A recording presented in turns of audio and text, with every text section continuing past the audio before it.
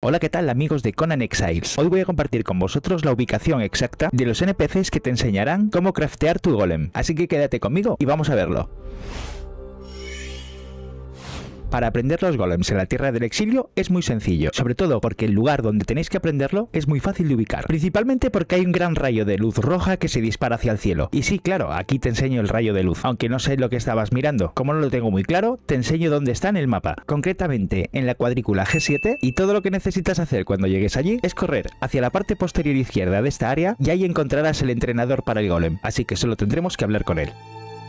Muy bien, pues ahora que sabes dónde está ubicado el NPC que te enseña cómo crear un golem en las tierras del exilio, voy a enseñarte dónde se aprende en la isla de Sipta. Vamos a verlo. En la isla de Sipta deberemos dirigirnos a la isla que está situada más al norte, concretamente en la cuadrícula I-13. Allí haremos lo mismo. Hablaremos con el entrenador de golem y ya tendremos aprendido los golem. Si ahora quieres saber cómo hacer el golem, no te pierdas mi próximo vídeo, así que dale al like, suscríbete y déjame un comentario. Y ahora me voy rápido que me están esperando para jugar en un servidor oficial Vanilla. Si queréis verlo, no os perdáis el directo. Chao, chao.